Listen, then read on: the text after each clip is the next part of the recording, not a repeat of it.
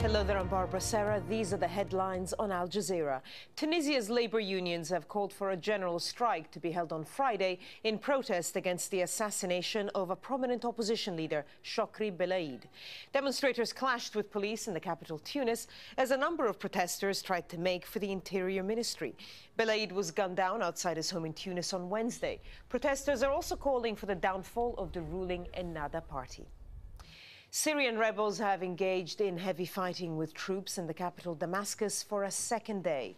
It comes as a new report from Médecins Sans Frontières says that half the 220,000 Syrian refugees in Lebanon aren't getting proper medical care.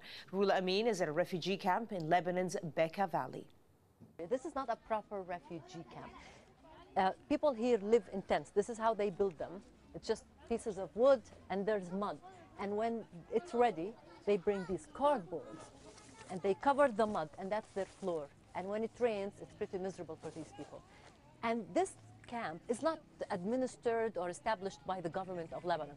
Basically, each family pays a rent for the landowner of this land, about 200 to 300 dollars a year, just to take that small piece of land and build that tent on it.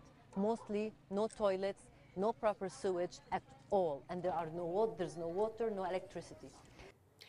Russia has been marking the start of the one-year countdown to the Winter Olympics in Sochi.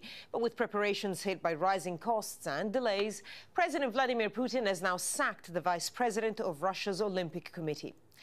Well, the cost of hosting the Games has soared to approximately $50 billion. It's being partly funded by the state and private investment. The 2014 Winter Olympics is seen as a personal project of the Russian leadership. Lots more on all the stories we've been covering on our website. The address on your screens right now, aljazeera.com. Those were the headlines on Al Jazeera, and that's all from me, Barbara Serra. Bye-bye.